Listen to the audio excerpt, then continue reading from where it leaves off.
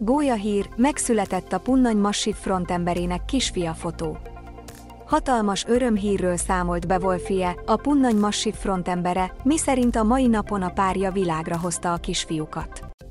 Oscardíjra jelölt sztár segít a magyaroknak, a dűnes minkmestere már a vörösszőnyegen igent mondott a felkérésre.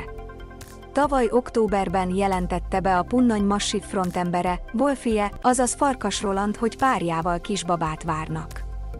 Korábban megosztotta szerelme hatalmas pocakját, amelyre több rajongó is írta, hogy biztosan nem lesz kis ember a gyermekük sem, hiszen Wolfie sem a legalacsonyabb. Egy biztos, nők nélkül sehol nem lennénk, írta akkor a zenész, aki a mai nap közölte az örömhírt, megszületett a kisfia. A pici a Farkas Bende nevet kapta, a róla készült első fotókat pedig Instagram oldalán tette közzé a büszke apuka hozzátéve, az anyuka is jól érzi magát. Új életünk első napja a mai. Farkas Bende is int hebujéding. Anyu jól van, mindenki happy, köszi a kedves üziket.